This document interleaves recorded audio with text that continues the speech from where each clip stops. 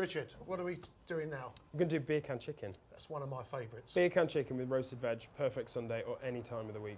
And with the new, The, uh, the gourmet system poultry roaster, a little bit bigger than the other ones, um, gives you more space for vegetables, and it has a removable centre well. It's kind of two products in one really, because you can take that out and use it as a, a veg basket, um, or you put that in.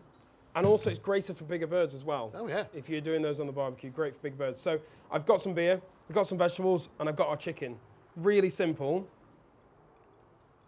Some oil over the top. This is just going to help the seasonings to stick. In this little dish here, got some sea salt and some pepper. I just love sea salt, don't you? such a milder flavour, Yeah. such a much more f- milder flavour than your, your typical table salt.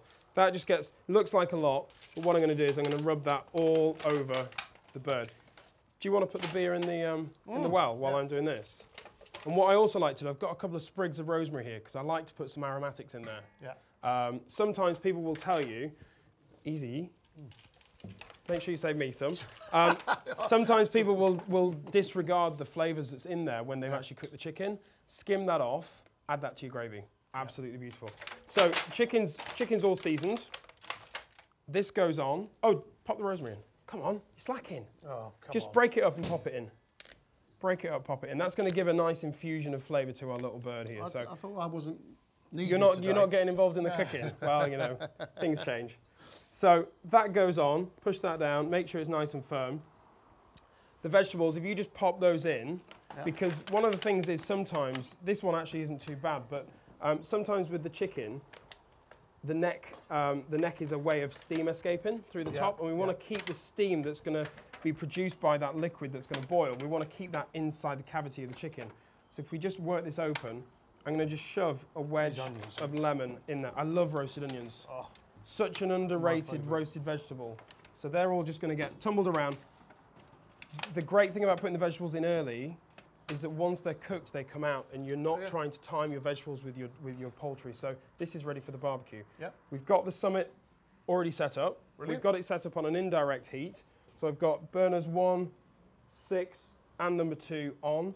We're giving us a temperature of around about 175, Yeah. 180 degrees C. Lift the lid. The gourmet grate, I've removed it while Yeah, it was cold. I just thought it was the safest thing to do. Chicken goes in over the area of indirect heat. and time-wise? Time wise, for a 1.5 kilo chicken, I'm thinking around about an hour and a quarter, but we'll come back in about an hour and we'll just give it a probe with the digital temperature Yeah. probe. We'll make sure, and we're looking for 75 in the target temperature, so we'll take a, we'll take a look at that hour Lovely. point. Should be All right? ready for lunchtime then. Absolutely. Right, Richard, I think the chicken must be ready by now. Should be. It's been in about an hour and a half, Oh, hour and a quarter, that. hour and a half. Look at it. Nice little bit of crispy skin. Make sure the temperature probe switched on. Tip of the probe into the deepest parts. Look at 78. Uh, look again. We're looking for we're looking for 75, aren't we? Yeah. These are a good little accessory, aren't they? Yeah, brilliant. So check the legs as well.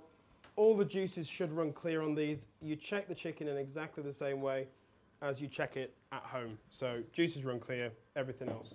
Our roasties are good to go as well. Um, let's just bring this off. Lid down. Look at that. Look at that. Take that to the table and carve that. Yeah. What about that for a Sunday I'll roast? let you do the carving. You're an expert. So, if I if I do the carving, do you want to um, do you want to lift the veggies out and just Yeah, pop them we'll onto do, the yeah. plate? So, Yeah. we'll get this chicken off here. You can see the steam coming out of there, which you know that was full when we um. Oh, easy. See, I'd use was- that for some gravy in there. Absolutely. Take that out, skim that off. So to carve the chicken, you normally let this rest a little bit, but for the sake of video, we're just going to go with it. So to carve the chicken, carve down this, this the, um, either side of the the uh, the the breastbone, which runs down the centre of the, the crown, and then we're going to take that entire breast completely. That's quite hot. This is fine. That's fine. Yeah. You I'm got just nice leaving you some done. room for the chicken there. If we look in here though, you can see this chicken is perfectly cooked all the way through. Again, as we mentioned about before, you don't need to start chicken off in the in the kitchen. You can cook chicken all the way through safely on the barbecue, can't you? Yep. You don't need to do that. Take that out the way. Just take that little wing off, put that on there. To carve a chicken, again, take the breast off, and then you can just slice down using the length and weight of the knife to do the work. Dead simple. How moist that is. If I just get to the thickest part and then pick that at up and see if we just catch the light with that. So That goes on there. I'm not going to carve the rest of the chicken. We're just going to pop that on there, but you get the effect. So, knife underneath. That can go on.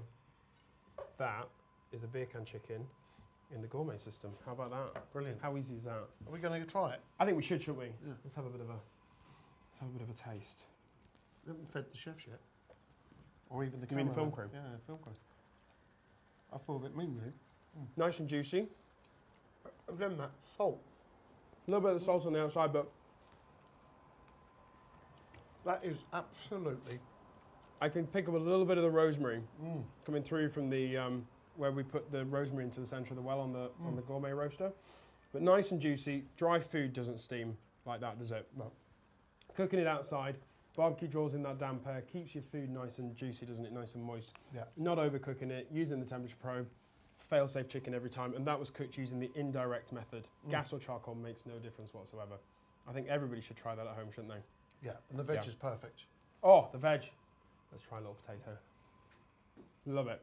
Amazing. Brilliant. Perfect that is the way Sunday roast every time. chicken, isn't it?